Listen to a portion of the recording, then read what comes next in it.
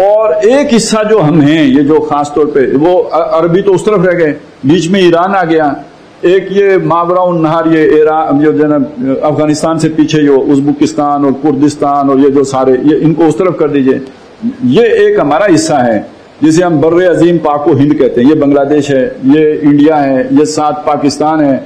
ये जो ममालिक हैं जिसे अंग्रेज़ बर सगीर कहते थे तो यानी एक बर आज़म होता है तो उसके मुकाबले में बर सगीर। तो वैसे तो ये, जिसने भी ये टर्म ईजाद की है, कोई अजीब सी है। सगीर तो छोटे से को कहते हैं। तो जो बर आज़म के मुकाबले में चले, कोई अजीम कह लें तो फिर भी बात बन जाती है। लेकिन चले, चलाने जो भी है। जिसे बर सगीर, पाक पाको हिंद कह लें, या बर अजीम, पाक पाको हिंद कह लें। यहाँ आज तकरीबन सारे रला मिला जुला के कोई सत्तर, अस्सी करोड़ मुसलमान आबाद है। थोड़े से नहीं है, सत्तर अस्सी करोड़ है। लेकिन ये कि यहाँ तारीखी तौर पर यह हकीकत मालूम है कि सबसे पहले तो इस्लाम जो आया था, वो ताजरों के ज़रिए से आया, लेकिन वो बहुत उसका असर और सुख बहुत थोड़ा था। बड़ी जो एक यलगार हुई है, वो मोहम्मद बिन कासिम की हुई है, वो सिंध तक महदूद रही है और बहुत थोड़े अरसे के बाद वो रिवर्स भी हो गया काम। फिर महमूद गजनवी के हमले हैं, वो सत्रह हमले और ये सारा, उसी दौर में फिर वो अमल शुरू हुआ, फिर दिल्ली पे कब्जा हुआ, फिर वो कुतुबुद्दीन ऐबक की हुकूमत कायम हुई, फिर चलते चलते मुगलों का दौर आया और मुगलों के दौर में पूरे हिंदुस्तान के ऊपर अकबर के दौर में तसलुत हो गया। तो बाज जगहों पे 800 साल, बाज जगहों पे हज़ार साल ये मुसलमानों का इकतदार है जो कि हिंदुस्तान पे रहा। फिर अंग्रेज़ आया। अंग्रेज़ ने आके काम किया कि यहाँ पे ये जो दो कौमें आबाद थी, हिंदू और मुसलमान और ये आप सोच लीजिए कि अगर मुसलमान की जहनीत उस तरह की होती, जैसी आज मोदी की है तो हिंदुस्तान में तो कोई हिंदू बाकी ना बचता। ये प्रोपेगेंडा है, ये झूठ है कि मुसलमान जालिम थे। मुसलमानों ने हिंदुओं के साथ बड़ी कुशादा दिली से, बड़ी वसत नजरी से, बड़ी खुले डुल्ले अंदाज में मामला किया। हमारी दीन की तालीमत ऐसे आप किसी की जो है वो इबादत खाना जो है वो बर्बाद नहीं कर सकते, तबाह नहीं कर सकते। ये तो हमारे दीन की बुनियादी तालीमत में से तो मैं ये बता रहा था, सबसे ताकतवर हुक्मरान कौन था? अकबर। और अकबर, आपको पता है, वो कितना मॉडरेट था। वो तो दीनी अकबरी लेके आ गया था ना। और वो किसको फैसिलिटेट करना चाह रहा था? हिंदुओं को करना चाह रहा था। उसके तो अपनी, वो बीवियों में भी हिंदू रानियाँ शामिल थी। तो बहरहाल, ये जो प्रोपेगेंडा है, ये सारा फिर आके किया अंग्रेज़ ने। उसकी ज़रूरत थी, उसकी फिलॉसफी थी, उसकी स्ट्रेटेजी थी डिवाइड एंड रूल ये अगर मुतहद हो गए तो हमें निकाल बाहर करेंगे। इनको आपस में फोड़ के रखो फूट डाल के रखो, लड़ा के रखो। उस लड़ाई का आसान तरीका यह था कि उसने हिंदुओं को यह पट्टी पढ़ाई कि ये मुसलमान बड़े जालिम थे। चुनाचे अंग्रेज़ के यहाँ होते ही उसी दौर में हिंदुओं के अंदर एक मुसलमानों के खिलाफ नफरत, परवान चढ़ना शुरू हो गई। जिसको हमारा दीनी तबका नहीं महसूस कर सका। आप ये बात समझ लें कि जब पाकिस्तान बन रहा था तो हमारे मजहबी तबके की जो लीडरशिप थी टॉप लीडरशिप, उसने तहरीक पाकिस्तान का साथ क्यों नहीं दिया? वो जहनी तौर पर उस दौर में थे जो अंग्रेज़ के आने से पहले का दौर था। वो ये समझते थे कि हम पहले भी इकट्ठे रह रहे थे, हम अब भी इकट्ठे रह लेंगे। आम मुसलमान उनकी तरफ़ क्यों नहीं गया और वो मुस्लिम लीग की तरफ़ क्यों आ गया? आम मुसलमान को रोज़मर्रा के उमूर में हिंदू से पाला पड़ता था। वो जानता था कि हिंदू बदल चुका है, ये वो हिंदू नहीं है। इसके अंदर अब नफरत का जो है वो नाग जो है वो फन फैलाए बैठा हुआ है।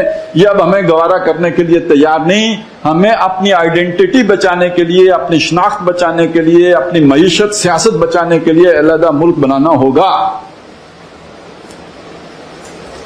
तो ये मत समझिए, ये कोई नई जो चीज़ है, ये उस वक्त भी थी।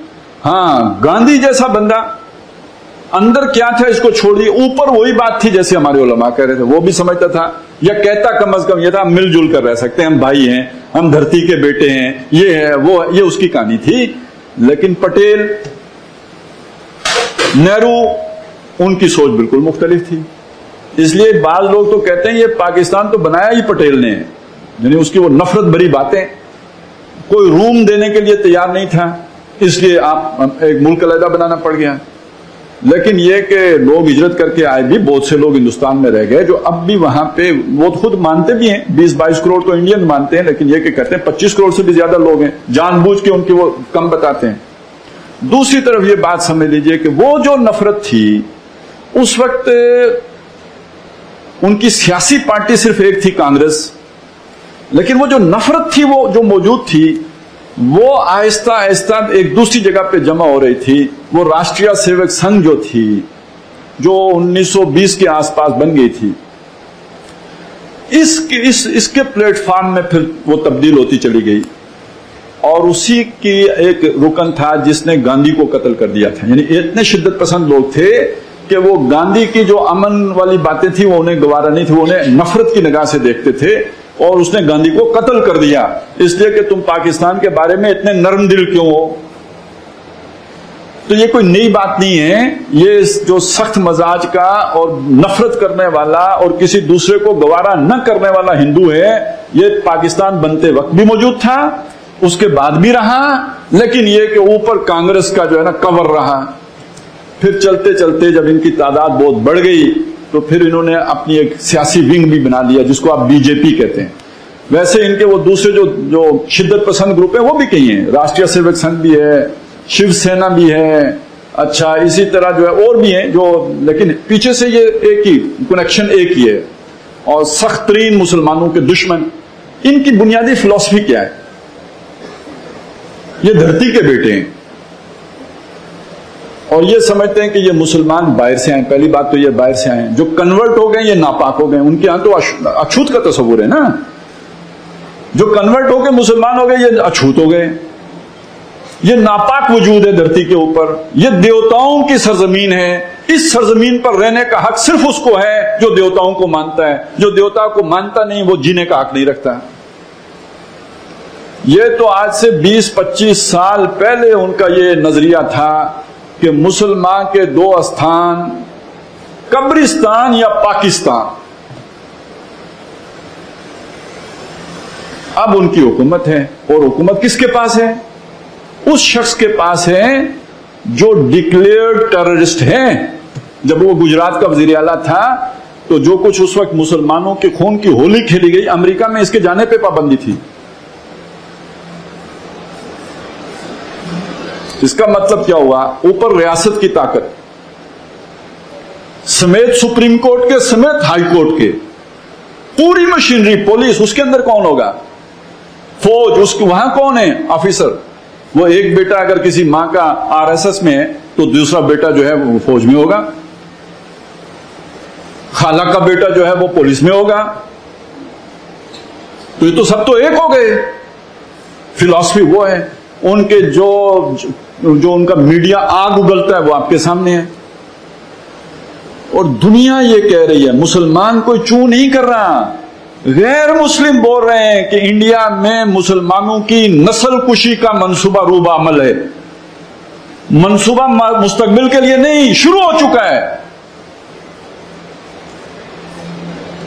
और हम किसमें लगे हुए हैं? पड़ोस में। एटमी ताकत। नंबर वन समेत हम इसमें लगे हुए हैं कि हुकूमत किसकी होनी चाहिए? और उधर की कोई परवाह नहीं। हमारा मीडिया कोई खबर नहीं दे रहा है।